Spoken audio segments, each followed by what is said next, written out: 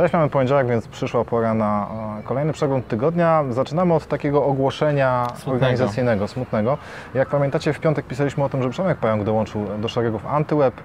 Mm, No i po jednym dniu niestety musieliśmy zrezygnować e, z jego usług. No nie Ale, ale, ale życzymy mu Tak. wszystkiego dobrego na dalszej drodze kariery, żeby ten... Będzie dobrze, Przemek, trzymaj się.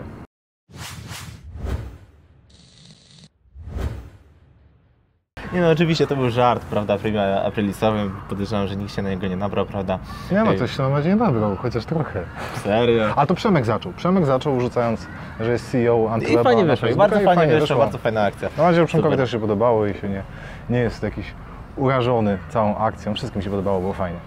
Dobrze, ale my zaczynamy z przeglądem tygodnia, z takimi poważniejszymi rzeczami. A jedną z poważniejszych rzeczy, która ostatnio była, była konferencja Microsoftu, czyli Build 2016. Tak, tak, tak. Była konferencja Microsoftu, była masa nowości, integracja, jak integracja chociażby Linuxowego Basha, Ubuntu w Windows 10 natywna integracja, trzeba żadna wirtualizacja, e, połączenie tych, tych sklepów Xboxa ze sklepem X, e, Windowsa 10, e, połączenie nawet programów preview, że testerzy oprogramowania na, na Xboxa będą tymi samymi testerami, którzy, e, którzy testują Windowsa 10, te, te przed, przedpremierowe e, buildy. No i oczywiście był ogromny nacisk położony na sztuczną inteligencję, czyli na asystenta Skype'owego, e, z którym będziemy mogli rozmawiać, który, który, który, którego będzie, za którym będzie stało specjalne API pozwalające nam na, na, na komunikację, na wydawanie jakichś poleceń i tak dalej. Więc, więc, więc jest sporo takich przyszłościowych zapowiedzi, które, które, które pewnie w nadchodzących miesiącach nie pojawią się, podejrzewam, na rynku.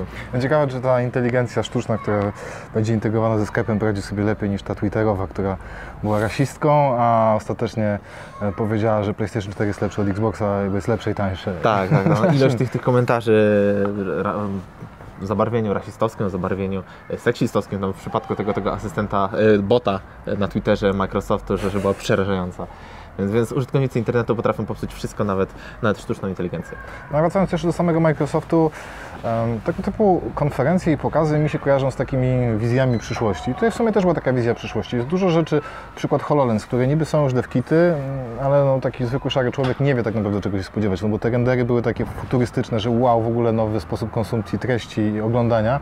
No, my tego nie widzimy, e, dowiemy się tak naprawdę jak to ruszy, a to tak naprawdę nie ruszyło, więc wszystko to, co Microsoft na razie mówi, tak jak powiedziałeś, że jeszcze tego na razie nie zobaczymy, więc to są takie pieśń przyszłości. Bardzo dobrze oczywiście, że jest, no bo ktoś musi tę branżę i tę technologię pchać do przodu. Microsoft jest jedną z tych firm, która ma pieniądze i pomysł, więc bardzo dobrze, no ale ja bym wolał więcej tych produktów zobaczyć faktycznie. Podoba mi się natomiast to e, dla niewidomych e, interfejs dla niewidomych, który pozwoli lepiej tak, korzystać dla osób, które mają problemy ze wzrokiem lub, lub w ogóle nie widzą, więc takie rzeczy jak najbardziej na plus, no a jeszcze zobaczymy. Na pewno robi Wiesz, wrażenie ilość lepiej- Windowsów. Lepiej, lepiej poczekać, po prostu dopracować tę technologię, wypuścić deweloperom, tak, tak. żeby oni sobie te aplikacje porobili, żeby oni e, jakoś oswoili się z tym, z tym urządzeniem, niż po prostu lecieć na, na, na łeb na szyi, puścić sprzęt, puścić urządzenia i czekać później na, na cud, że deweloperzy raptem nagle na, zaczną e, produkować tam no, masowo aplikacje na niego. Natomiast więc ty- jakaś, jakaś logika za tym stoi, że wiesz, że ta technologia musi dojrzeć zanim ona wejdzie, że, że okej, pokazujemy, jesteśmy innowacyjni, mamy fajne technologie,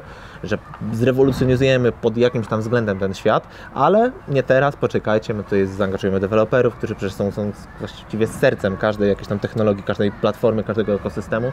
Pokażemy tę technologię tu, tam, znajdziemy dla niej zastosowania, dopracujemy, znajdziemy model biznesowy przede wszystkim i dopiero potem puścimy to w świat. Więc, więc logika jakaś stoi, to jest wielka korporacja, oni mają ogrom kasy, więc, więc, więc oni wiedzą, co robią na dobrą No, sprawę. to robi wrażenie ilość Windowsów. To ten sukces w stosunku na przykład do Tak. siódemki. To jest Windows 10. 270 milionów, Znaczy- dobrze mówię? Chyba tak. Natomiast no, na pewno to miał duży wpływ miało to, że ten Windows był darmowy, tak jak naprawdę. No. Ale e, przyjął się super, tak? E, I, I w zasadzie cały świat jest na Windowsie 10 tak? No i oceny to są bardzo pozytywne, nie jest No tak, że, że ze że wciskali to na siłę, czy na tą Miałem ósemkę, która, którą, którą ludzie przeklinali, więc, więc, więc oceny są pozytywne, więc ten Windows 10 jednak był jakimś tam chyba, można powiedzieć, sukcesem, że w końcu zrobili to tak jak należy. Kolejny temat to też innowacyjność, e, wirtualna rzeczywistość. Ona wraca w naszych przeglądach dość często, szczególnie, że ja jestem chyba najbardziej w redakcji zajarany wirtualną rzeczywistością i staram się... Nieprawda, no dobrze. Ja jestem zajarany VR-em od momentu, kiedy założyłem DK1 Oculusa na głowę. To było dawno temu, te pierwsze wersje deweloperskie. Była pikseloza, był lag, bolała głowa, ale wrażenia były mega. No i Oculus, jeżeli dobrze pamiętam, 28 marca wyszedł do ludzi. Tam co prawda jest jakiś poślizg, dużo osób nie dostało tych okulusów z tych zamówień przedpremierowych, więc tam mała afera jest. Natomiast pojawiły się już pierwsze recenzje. Oczywiście mogły sobie na nie pozwolić głównie te amerykańskie serwisy i, i największe, bo ta dostępność sprzętu była zdecydowanie lepsza niż w Polsce. W Polsce na razie nie widziałem jakichś recenzji jeszcze i podejrzewam, że się długo nie będzie. Mm, Eurogamer? Ale to Ale to no. Tak, przedruk z tego, z tego głównego. E, Natomiast no, pierwsze recenzje są bardzo pozytywne. Co prawda żaden chyba serwis i żadna gazeta nie stwierdziła, że to jest taki przełom, że wszyscy muszą pobiec i kupić. Natomiast, No, wiesz, no, to też nie jest jakaś tam technologia, która nagle boom, weszła, nie? Ona natomiast miała... e, New York Times i Wall Street Journal, czyli tak dwa media niezwiązane z technologiami jakoś bardzo mocno, tylko mające te działy technologiczne, chociaż tam osoby są, które znają się na tych technologiach, no takie mniej optymistyczne te, te pierwsze recenzje miały. Ja ich rozumiem, no bo e, jeżeli masz sprzęt, który się okazuje jest przeznaczony przede wszystkim dla geeków, tak, którzy są w stanie mieć, mieć bardzo drogi komputer, który to pociągnie i wydać kupę kasy na okulary i są zajarani VR-em, kupią, a taki zwykły szary człowiek tego nie zrobi, więc i te zwykłe Może pod szare tym gazety... kątem oni oceniali to, nie, że, Portale, właśnie, tak. że czy ludzie, czy, czy, czy wy to kupicie drzewem, to się przyda. No ten próg wejścia w wirtualną rzeczywistość niestety jest wysoki w Póki przypadku Oculusa i HTC Vive. PlayStation VR już trochę niższy. Na razie VR dla szarego zjadacza chleba to będą cardboardy, to będą e, Samsung gogle jeszcze. Samsunga, które, które można sobie które można sobie włożyć smartfona, więc to będzie właśnie wirtualna rzeczywistość, którą my, właśnie zwykli ludzie, będziemy sobie tam po prostu e, w jakiś ten sposób kons- konsumować. I dopiero gdzieś tam wyżej ci pasjonaci z pecytami za, za, za, za 7, za 8 tysięcy złotych, firmy e, jakieś tam deweloperskie chociażby, które, które budują mieszkania, e, sprzedają te mieszkania, mogą zrobić wizu- wizualizację, agencje marketingowe, które mogą zrobić wirtualną, w wirtualnej rzeczywistości, pokazać klientowi, jak będą wyglądały te jego tam billboardy gdzieś, gdzieś mm, na przedmieściach, czy, czy jakaś, jakaś scena na konferencję. Więc generalnie zastosowanie tego jest ogromne i nie tylko w grach, że, że w edukacji jest to przecież ogromne zastosowanie. Biznes porno przecież kwitnie, przecież tam ile już pieniędzy włożono, więc to prawdopodobnie będzie jedna z najbardziej dochodowych e, tych, tych, Jest tych gałęzi. Pornhub uruchomił przecież e, No. dział własny VR. Wiecie, tak. przecież oni te e, cardboardy chyba rozdawali Własne, z darmo, mhm. nie? Więc, więc zastosowań jest cała masa. Wirtualna rzeczywistość nie można właśnie takiej traktować tylko przez pryzmat gier, bo Tak, gry tak, to jest tylko jedno tam jakoś tam, no nie wiem, na dziesiąta tego, co można z tym robić. Więc ciekawy jestem, jak to będzie wyglądało za dwa, za trzy, za pięć miesięcy. No i oczywiście ciekawy jestem, jak się przyjmie HTC Vive, bo dla mnie to jest sprzęt o wiele bardziej interesujący No, o ile i droższy, ciekawszy tak? niż, Bo już niż kos- Oculus. kosmiczne pieniądze są. Natomiast jeszcze odnośnie Oculusa, głównymi minusami, które tam były wymieniane w tych opiniach, recenzjach, pierwszych testach jest to, że na razie nie ma takiej jednej aplikacji, która by pokazywała ten VR w taki sposób, że chciałbyś to mieć, tak? I generalnie na razie większość tych rzeczy w tym Oculus Store jest, w tym sklepie ich wewnętrznym i wszyscy mówią, że czekają na te zewnętrzne aplikacje, czyli tych osób, które nie były bezpośrednio związane z Oculusem, ale są w stanie przygotować fajne rzeczy. Czyli no, na razie nie wiem, ja to tak odbieram. Fajny sprzęt, bardzo fajny sprzęt, ale nie kupujcie. Tak, ale, ale to- nie, ja zresztą nie kupiłem, szczerze powiedziawszy. No bo okej, no mieliśmy gogle, mieliśmy cardboardy, mieliśmy to wszystko. I to była fajna zabawa na parę godzin, nie? Potem już to Tak. No właściwie ale tak, no, na pewno jest tak, raz na jakiś czas, no takie, wirtualna takie. rzeczywistość będzie nowym sposobem konsumpcji Będzie, treści. będzie, któregoś jasne. dnia jest taki się. obrazek, ja nie wiem czy go znajdę do przebitki, postaram się znaleźć. Taki stary obrazek e, futurystyczny, gdzie dziewczyna e, leży w kącie takiego zapuszczonego pokoju z goglami VR na No głowie tak, i wygląda tak. jak taka No. narkomanka No, gdzieś dobrze znany obrazek. Tak, jak go znajdę, to go wkleję i ja się obawiam, bo ktoś w ogóle w komentarzach zauważył jeszcze jedną ciekawą rzecz odnośnie, mm, jak była, opisywałem te, te recenzje Oculusa, że nie mówi się mm, o tym, że któregoś dnia pojawi, będzie ta wirtualna rzeczywistość tak e, realna, że ludzie się pomylą, tak? Zdejmiesz te gogle i tak naprawdę nie będziesz wiedział, czy jesteś w goglach, czy nie jesteś w goglach. No jak świat w goglach Ci pozwala zrobić coś, czego nie możesz zrobić w zwyczajnym świecie, to jak Ci się pomiesza trochę, no to kurczę, może być niefajnie, tak? No tak, no to ten poziom imersji jest na tyle wysoki, że to ta rzeczywistość zaczyna się przeplatać e, Wiesz, z nierzeczywistością. Pamiętam no. taki żart, jak Carmageddon pierwszy wyszedł i no to był taki, no graficznie to było jak było dawno, No, dawno wiadomo. temu. I, i, I takie żarciki, o jadę teraz samochodem, o kurczę, już niedawno grałem w Carmageddon i wiesz, już za- zapalało się ten, że zaraz zacznie rozjeżdżać ludzi. A teraz sobie wyobraź, że masz taki Carmageddon, który wygląda prawie tak jak w tym VR-ze, jak prawdziwy. Mózg ci tam, wiesz, zatrybi, kurczę, to jest prawdziwe, no bo na tym polega VR, że oszukuje ci No mózg tak. i, i udaje, że to jest prawdziwe. Potem wsiadasz do zwykłego samochodu i może nawet nieświadomie jakaś klepka ci się przestawia i nie wiesz, gdzie jesteś, tak? Tak jak No, w ale Incepcji, wiesz, pamiętasz? Tam ta jak- dziewczyna jak- skoczyła, to Jaka coś to takiego. będzie pożywka dla tych wszystkich e, organizacji, tych, tych wszystkich ludzi głoszących to, że, że gry są złe, że, że, że, wiesz, że, że gry tam niszczą i tak dalej, i tak dalej, e, psychikę młodych ludzi. Więc e, zagrożeń jest sporo, jasne, ale też zauważ taki trend, że tu mówiliśmy wcześniej Microsoft sztuczna inteligencja, to teraz mówimy e, Google wirtualnej rzeczywistości. Wszystko zmierza ku Połącz to. odseparowaniu się, Połącz nie? to. odseparowaniu się od świata zewnętrznego, od innych ludzi. Już teraz po prostu wolimy się ze smartfonem z, przed komputerem niż, niż po prostu wyjść do ludzi. No okej, generalizuję, jasne, ale ten trend jest coraz mocniejszy, coraz silniejszy i teraz jak właśnie wejdzie, no, wejdzie taka, taka sztuczna inteligencja, czyli te wszystkie boty, z którymi będziemy rozmawiać, zamawiać pizzę, Do tego e, VR. Czy, czy, czy, I dążyć do tego właśnie VR, to całkowicie jesteśmy po prostu, nie wiem, gdzieś roślinkami sobie gdzieś tam. To chyba było w jakimś filmie, kurczę, uciekło mi, że, że ludzie po prostu byli tylko jakimiś tam w jakichś trumnach, tam byli jakimiś takimi roślinkami niemalże i miały, mieli założone te, te, te gogle No tam, wirtualnej rzeczywistości, tak? a wszystko żyło, żyło. No tak, no Matrix też, też To Matrixie zresztą było. motyw się przewijał już, już kil, kilkukrotnie. No był ten w- film Her o tej facecie, to się zakochał No, w sztucznej inteligencji jasne. w komputerze. Więc, tam- więc to, się, to się urzeczywistnia, nie? Teraz dodaj sobie VR, sztuczną inteligencję, takiego bota, który będzie... Masz takiego gościa, który na przykład nie radzi sobie w kontaktach z ludźmi, nie może znaleźć e, dziewczyny, nie może znaleźć żony, nie może znaleźć kobiety, nagle zakłada gogle, tam ma sztuczną inteligencję, No, wygląda tak jak nie? chce, ustawia sobie w e, ekranie kreacji postaci, tak jak w RPGach, tak, wymarzoną kobietę i nagle głowa stwierdza, ej, tam jest fajniej, tak? No to po co nam wychodzi? Jasne. Na pewno pamiętacie konflikt na linii Apple-FBI. Sprawa dotyczyła iPhone'a, który, który należał do jednego z zamachowców e, amerykańskich i FBI chciało, żeby Apple odblokowało to urządzenie, czy też udostępniło im narzędzia do odblokowania go i w ten sposób, że, żeby uzyskać dostęp do pamięci, do, do tych wszystkich informacji, które się tam znajdowały, bo one mogły odegrać jakąś kluczową rolę w, w śledztwie, w całej tej sprawie. Apple oczywiście się nie zgodził.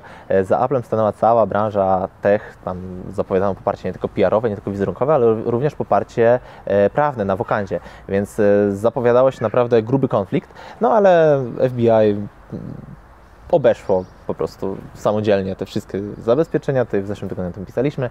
Udało mi się uzyskać dostęp do iPhone'a. Niewykluczone, że, że do tego i niewykluczone, że do też wszystkich kolejnych e, iPhone'ów, które, które, które fizycznie będą posiadali.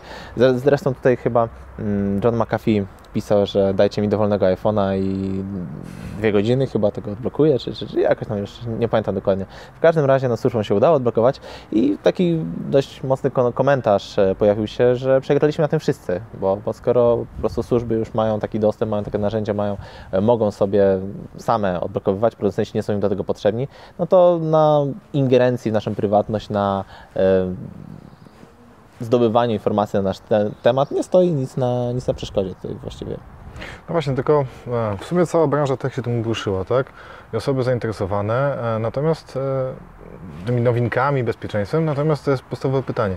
Czy ludzie faktycznie tak bardzo się skupiają na prywatności? Mam Nie, wrażenie, że mają swoją prywatność, szczególnie związaną ze smartfonami, tabletami, komputerami centralnie gdzieś. Czego dowodem jest e, dzisiaj, e, nie wiem, czy to, to już puściłeś ten artykuł, Tak, tak, prawda? też artykuł. Jest e, taki, ja tam podlinkuję w, w opisie, jest e, taka trochę aferka na Facebooku, że ktoś podający się pod RTV EuroAGD stwierdził, że zrobi grupę zamkniętą. E, W tej grupie będzie wysyłał linka ludziom, taki umieścił linka z konkursem, czy w zasadzie nie z konkursem, z rozdawnictwem, tak? Rozdaje po kliknięciu na linka 50 tysięcy... e, 20 tysięcy 20 urządzeń. Grupa 20 była tysięcy urządzeń. na tak. grupie link do stronki, tak jest preparowany, proszę zalogować się swoimi Tak, danymi tak. z Facebooka. No my się Grupa ma okazało się- 75 tysięcy członków. Okazało no. się, że można się zalogować e, hasłem 123 e, i loginem 123 gmail.com, obojętnie czym to sobie wymyślicie, no i tam można sobie wybrać nagrody. Tam Asus ROG był, e, telewizory. Jasne, nagrody były takie, rzeczy, iPhony, iPady, iPady, wszystko było. PlayStation. No i na tej grupie w ogóle się pojawiło e, komentarze zwykłych użytkowników, ludzi, którzy mają konto na Facebooku, ze zdjęciami, że faktycznie dostali, że ta spirala się nakręca, tam cały czas rośnie. E, Tak, bo oni uzyskiwali w ten sposób dostęp No. do tych kont i ich imieniu Ci ludzie są do nieświadomi, się tak, od, e, osoby, które się połaszczyły na te mm, sprzęty, oddały swoje konto na Facebooku, bo dały login i hasło. Mm, I jeszcze przy okazji, żeby tam w ogóle wziąć w tym udział, trzeba wysłać SMS-a. Tam wychodziło 3,70 brutto. Więc nie dość, że 30 zł chciałeś powiedzieć. 30? 30 zł ten SMS kosztował, tak. Myślałem, że 3. No, w każdym razie tak dochodzę do meritum. Ludzie nie szanują swoich danych, nie szanują swojej prywatności. Prywatność, e, mam wrażenie, większości osób w moim otoczeniu ogranicza się do tego, że ustawiam sobie wzorek odblokowania tego telefonu na, na, na ekranie. I to jest właściwie wszystko. A jak przychodzi co do czego, jak pojawia się jakaś strona w ogóle niegodna zaufania, że, że, że ja nawet bym tam, no nie wiem, no, nie wpisał czegokolwiek, nawet fejkowych jakichś danych, bo bym się bał w ogóle wejść na nią. E, to wpisują swoje dane, nie szanują po prostu, nie, inaczej może, nie są świadomi tego, że, że, że z czym ryzyka, z jakim to się wiąże, że, że co może dalej A nastąpić. dodaj do tego, że coś jest za darmo. To po prostu ludzie A tak, to, to już w ogóle już się coś przestałeś miesza- w głowie. pędzą.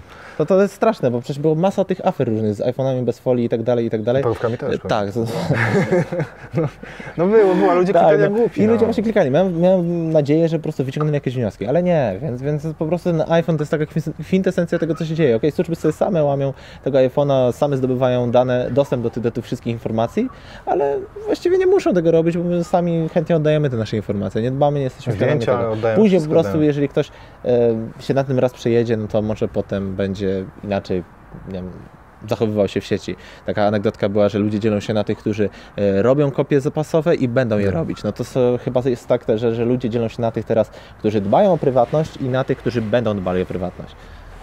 Smutne. Smutne. Podobno pierwszy raz w historii ludzkości rozwój technologiczny zaczyna wyprzedzać zdolności przyswajania nowych rozwiązań przez użytkowników. Mówiąc inaczej, chwila nieuwagi, człowiek przestaje ogarniać te wszystkie migające i piszczące urządzenia wokoło. Dlatego cały czas trzeba trzymać łapkę na pulsie i w znaczącej mierze dzięki Wam mi się to udaje i to mimo zbliżających się szybkimi krokami pięćdziesiątki. Dzięki. E, Bardzo dziękujemy i fajnie, że mm, nie tylko czyta nas to młodsze pokolenie, chociaż też nie, Tomek to jeszcze jest młodszy, to już nie bardzo. Jestem No ale fajnie że, fajnie, że różne grupy wiekowe znajdują ciekawe treści na Antrebie, natomiast e, fajnie by było też, gdyby gdzieś więcej tych technologii było w takich ogólnych e, mediach. Takie mam wrażenie i e, może, żeby to nie była taka nisza, żeby ludzie faktycznie wiedzieli, że są coś takiego jak smartfony, dotykowe ekrany, że jest to sztuczna inteligencja, a mam wrażenie, że we wszystkich mediach jest tak, że o tej technologii się mówi, kiedy jest wielkie zdjęcie e, super popularne, które biega cały świat z, z Zuckerbergiem, z VR-em i to dopiero w polskie media powiedziało o VR-ze. Pierwszy raz chyba, poza jakimiś tam bloczkami tematycznymi albo jakimiś e, specjalistycznymi programami, albo jak coś się wydarzy złego. Wiesz, popyt czyni podaż. W mediach No, też tak samo to działa. Jeżeli coś się nie ogląda, to media tego nie będą emitować, nie będą tego pokazywały, więc podejrzewam, że nic się prędko nie zmieni, bo, bo no, technologia ma jakieś swoje grono, swoje grono odbiorców i wychodzenie poza te grono tego, tego mainstreamu raczej, raczej jest bezcelowe, bo, bo nie sprzedaje się. Nie? No, co z misją informowania ludzi o jakichś nowościach. Misja, jasne. Jeszcze nigdy ludzkość nie miała dostępu do tylu bzdur. Serio, wolałem czytać bajtki i podobne periodyki bez komentarzy i linków. Czytam o wiele większą wartość intelektualną. I tutaj odpowiedź na ten komentarz, takie dwa komentarze w jednym. Dokładnie, dzisiejsze, Web 2.0 to często idioci nazywani autorami, którzy piszą, by pisać bez żadnej wiedzy, przygotowania merytorycznego. Za to treści te są bogate jak mało co błędy językowe, a czasem nawet ortograficzne. Ostatnio coraz częściej widzę takie na e, Onecie. E, Tam był pewnie jakiś autor z Onetu. Nie, nie no. E, tak, no tr- trudno się z tym nie zgodzić. No faktycznie Web 2.0 to, to, to zakłada to, że każdy jest również nadawcą przekazu, że, że każdy, każdy to, ten, w tym procesie komunikacji zachodzi to sprzężenie zwrotne, czyli prawda, mamy e, komunikację specjalista, czy tam dziennikarz, e, konsument treści, odbiorca i ten konsument treści nagle może zrobić właśnie ten, ten, ten e, zwrot o 180 stopni i po prostu odpowiedzieć, e, zareagować, wyrazić swoją opinię, podważyć jakąś inną opinię.